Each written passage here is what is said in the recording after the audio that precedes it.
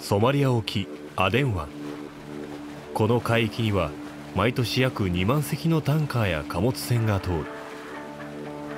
日本の貿易にも重要なこの海域で2008年頃から海賊行為が急増した。海賊は銃やロケットランチャーで武装し商船を乗っ取って身代金を要求する。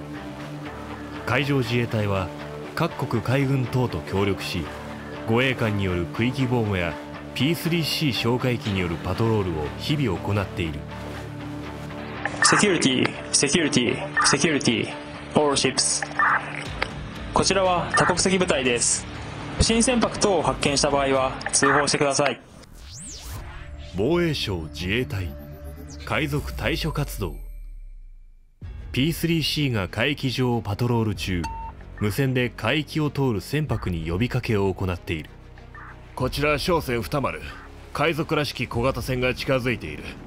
至急確認してほしい。機長、不審船舶の確認要請です。タコはポジションを確認しろ。はい。本機のマルジ方向。二丸マイルです。AIS に船の情報を入力するとその船の場所が表示される。よし。不審船舶の識別に向かう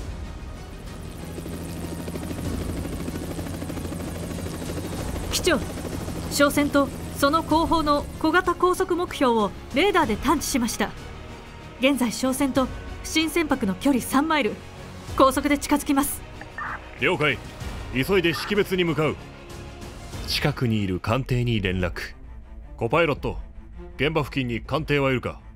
最も近い艦艇は、二丸国海軍艦艇、二四角と思われます。了解。通信を実施し現在の状況を伝えろ機関の二丸四方向、二四角マイルに、高速で近づく不審船の識別を依頼してきている商船二丸がいます。了解。本艦も現場に向かいます。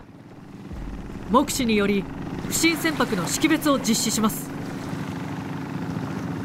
武器を持っている様子はありません。他の船に乗り込む様子もありません。漁具を積んでいるので海賊ではなく漁船だと思われます。了解識別の結果を商船二丸に連絡念のためしばらく動静を確認する識別したところ、汽船に近づく小型船は、海賊ではなく漁船だと思われます。引き続き、動静を確認します。安心しましたありがとうございますこうした P3C による海賊対処行動をはじめ国際社会による継続した活動が実り近年ではソマリア沖アデン湾における海賊による被害はゼロ件となっている。これからも海上自衛隊は世界各国と協力をして海上交通の安全を守ってゆく。